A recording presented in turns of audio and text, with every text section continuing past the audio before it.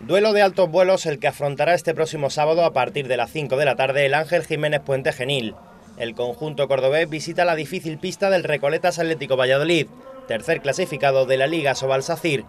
El cuadro pontanés buscará sumar su tercera victoria a domicilio en el pabellón Huerta del Rey, feudo del equipo pucelano que no ha cedido ni un solo punto como local en los cuatro partidos que ha jugado hasta el momento.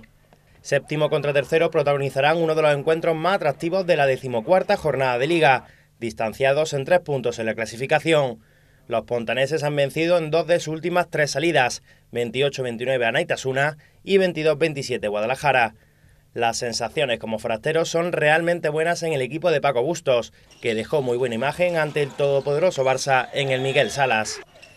Este jueves, el extremo izquierdo José Padilla ha sido operado en la capital de España de una lesión en su tobillo derecho. El jugador cordobés será la única baja en el equipo andaluz para el choque en Valladolid. Por su parte, el conjunto entrenado por David Pisonero buscará su quinta victoria consecutiva como local y afianzarse en la parte alta de la tabla. Tras tres triunfos consecutivos, los pucelanos cayeron por la mínima en su último compromiso ante Villa de Aranda, por lo que afrontarán con ganas de resarcirse de la inesperada derrota el partido de este fin de semana.